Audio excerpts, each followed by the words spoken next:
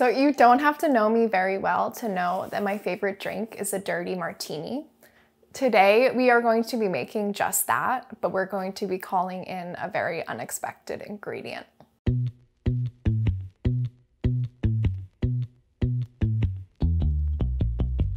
The only ingredients you'll need are Castelvetrano olives, feta and its brine, vodka, and dry vermouth. So before we get into the martini, I always want a snack with my drink. So some nights that's potato chips or roasted nuts. Today we are going to be doing a two ingredient fritter. This was one of my favorite recipes from the first year of the column. It's actually going to be like a reimagined version in my cookbook that's coming out in October. So what I have here is some quinoa. We started with half a cup, cooked it in a cup of water, added a bit of salt. And now that it is fluffy and warm, we are gonna add our cheese. And the residual heat from the quinoa is just going to melt in all the goat cheese. I'm just gonna help kind of encourage it with a fork and break up the bigger cheese pieces. Mm, do you smell the cheese? It smells so good.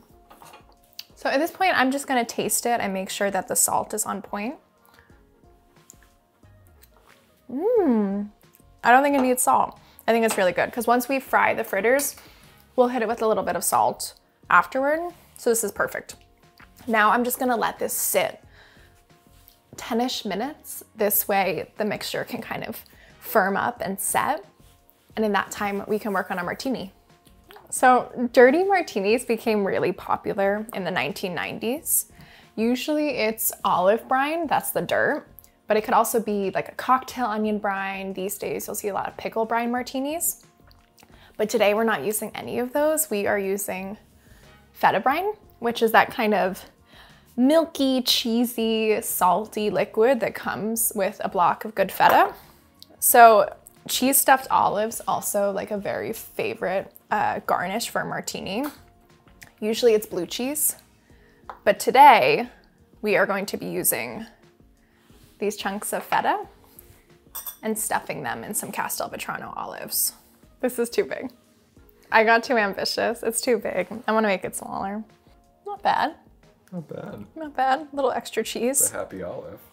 So I'm just doing two feta stuffed olives per drink. So sometimes what Justin and I will do is I'll have two olives in my drink. He'll have one because he doesn't like olives as much as I do. And then you can keep track of whose drink is whose. Yeah, it works great until we start eating the olives. Yeah. The classic martini is made with gin and almost always, almost always, I prefer gin. But if I was having like a like a pickle martini, vodka is my preference there because it kind of like the pickle has the brine's got a lot going on.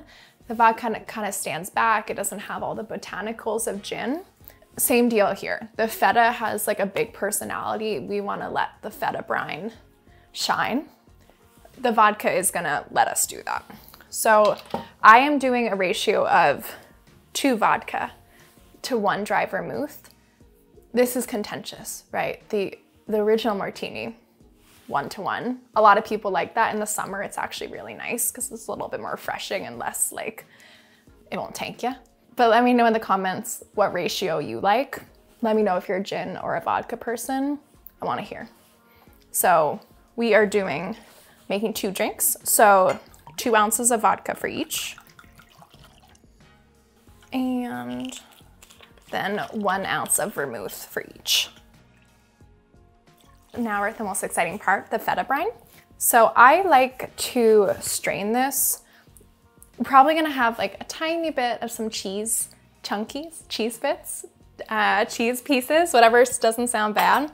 I'm just gonna strain it out before I measure it. This way my drink is, um, you know, as clear as possible. The thing with a dirty martini is that it's never gonna be as like uh, clear and pure looking as like um, something that doesn't have the brine. So that's okay.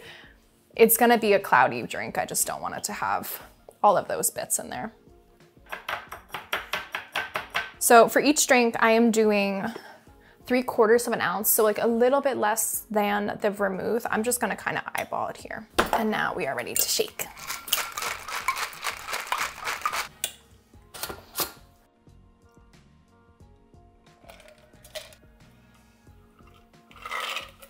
Cheers. Cheers.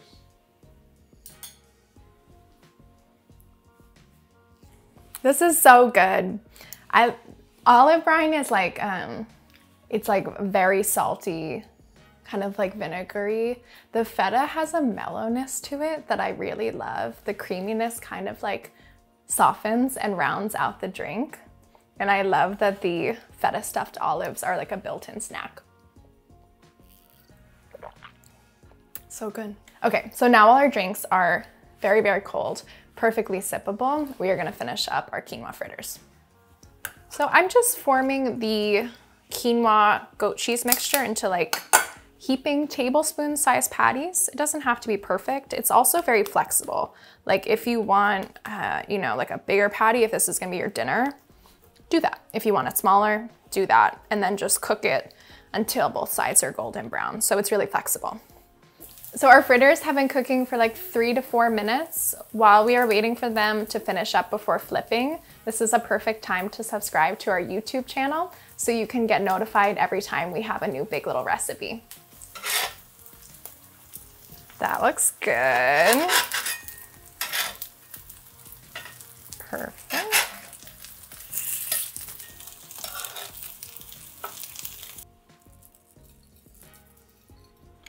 This is our feta brine martini and our two ingredient cheesy quinoa fritters. This is my new favorite drink. I can't wait to hear what you guys think about it and I will see you next week.